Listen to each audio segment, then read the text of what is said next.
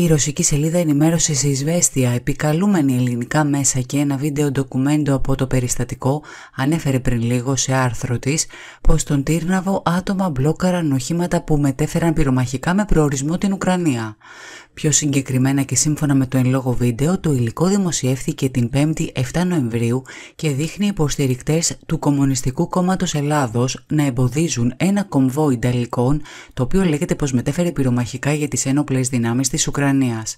Φορτηγά και νταλίκε με ουκρανικές, πολωνικές και βουλγαρικές πινακίδες μετέφεραν πυράβλους και άλλα πυρομαχικά από ένα στρατόπεδο στην περιοχή στις 6 Νοεμβρίου με προορισμό την Ουκρανία, ανέφερε το ελληνικό μέσο που επικαλείται η Μεγάλη Ρωσική Ειδησεογραφική Υπηρεσία.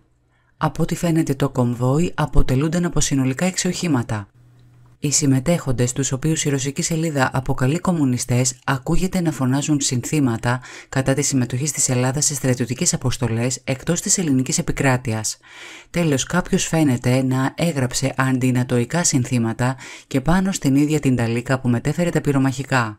Σύμφωνα με τις αναφορές, οι Νταλίκες αναγκάστηκαν να γυρίσουν πίσω.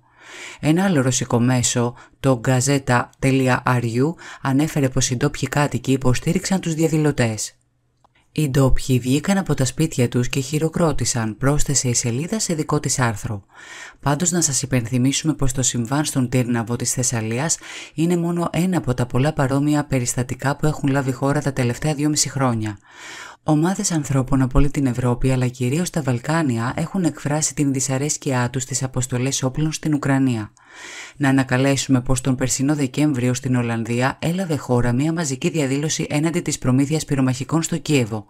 Εκατοντάδες άτομα διαδήλωσαν στην κεντρική πλατεία Ντάμ με σημαίες φωνάζοντας παράλληλα συνθήματα. Ακόμη και στο Παρίσι, το οποίο υποστηρίζει την Ουκρανία ενεργά από την αρχή του πολέμου, οργανώθηκε διαδήλωση στις 2 Δεκεμβρίου του 2021 προς υποστήριξη των κατοίκων του Ντονμπάς.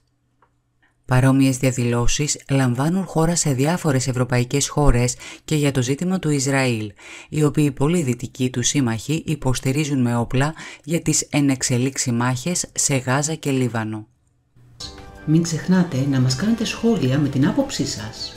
Ευχαριστούμε που μας παρακολουθήσατε και να λαμβάνετε πρώτοι όλες τις νεότερες εξελίξεις, κάνετε like και εγγραφή στο κανάλι μας.